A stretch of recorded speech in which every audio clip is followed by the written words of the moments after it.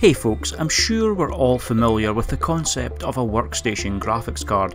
Nvidia traditionally had their Quadro range while AMD had their Pro line of workstation cards. These cards in terms of silicon quality are the golden goose of chips, the best of the best. From science and research to engineering and medical fields to your home CAD office, choosing a workstation card over the consumer version for maximum durability and longevity and the ability to stand up to the rigours of daily strenuous strenuous use can often be very appealing. In short, you're paying a premium and you should expect to get the highest quality of components throughout. That said, the theory of what these cards should be and the reality of what they are don't always align. Like in every industry, profit comes into play. And when thinking about my own RTX A2000 GPU, this is the exact situation that we found ourselves in. Although it's a fantastic little card, compromises have been made to save cost and in what is a fairly common theme with Nvidia's Ampere graphics cards, this rears its head in the form of the card's thermal interfaces. Now, normally on low power consumer cards, you don't need to worry about below average thermal interfaces. Take this GTX 1050 Ti for example. It had never been opened up, and two out of the four GDDR5 memory chips were simply hidden under an aluminium baseplate, no thermal pads at all.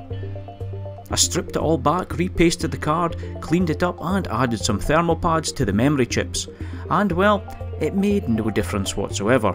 The card is a fairly open design with two big fans, and a heat pipe Finstack cooler setup, complete overkill for a 75 watt card, and through brute cooling force it mitigates any deficiencies in the thermal interface. In the RTX A2000 though it's a different story, so let's get a quick sense check of the thermal performance then open it up and show you what I mean. To test the card, I want to hit both the GPU and memory consistently, and as hard as possible for the memory, and mining Ethereum is a solid way to do this. For the baseline, using MSI Afterburner, I set the card up with a 90% power limit and a plus 1350 MHz offset on the memory.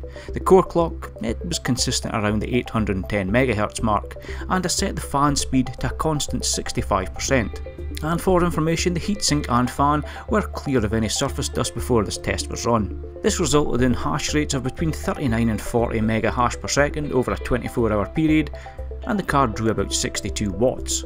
The average temperature during this test on the GPU was 62 degrees, the hotspot came in around 68, and the memory clocked in at an average of 84 degrees C.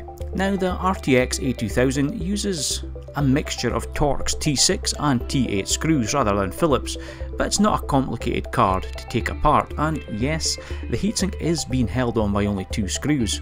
With it stripped down and the fan unplugged, you can see how much Nvidia has actually crammed into it, which is really commendable. That's the same GPU that you find in the full-fat RTX 3060, and six 1GB GDDR6 memory chips are tightly packed around it. The 12GB version of the same card has the same layout but uses 2GB chips instead.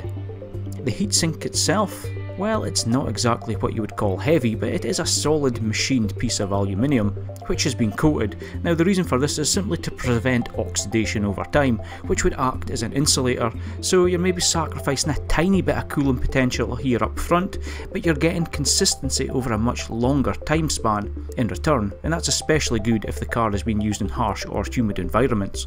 Now it's mainly the thermal pads we're thinking about today though, and like all cards using an Nvidia reference design, these pads, well, they're about as bargain basement as you could possibly get. Now Nvidia doesn't supply the datasheets for these, but it's safe to say they're simply not as good as even the most budget aftermarket pads.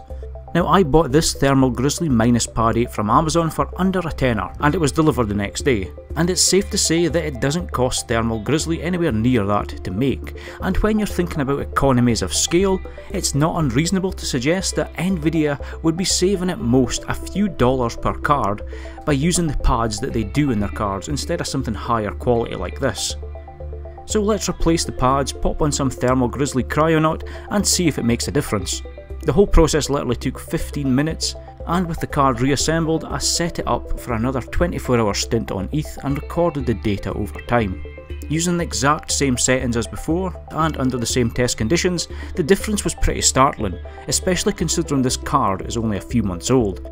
Memory temperatures in the mid 70s, almost a double digit drop, and a small but tangible drop on the GPU and hotspot temperatures. Now for reference, under this test I previously would not have seen less than 77 degrees C on the memory, with the fan running at 90% speed, so overall it's a fantastic improvement, and highlighting that as neat a package as the A2000 is, there's still a lot of room for improvement to the thermal transfer characteristics of this cooling setup. So I can honestly say that doing this, if you've got a reference style Nvidia card or in particular an RTX A series workstation card, it's well worth it. The reason I've done it is going to become apparent soon with a neat little mini ITX gaming build which is going to be using the A2000, but regardless of what your use case for this card is, gaming, work or mining, get those pads sorted out. I think we'll wrap this one up on that note though. Were you surprised by the results? Are any of you running an Ampere card and had to do the same? And if so, what pads did you end up using? Be sure to let me know. For now though, thank you very much for watching. Take care, and I'll see you all in the comment section down below, and in the next video.